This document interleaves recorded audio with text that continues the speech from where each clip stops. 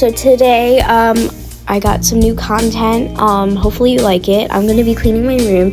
It's sped up, so I hope it's satisfying. I'm just trying new things today, so I hope you enjoy.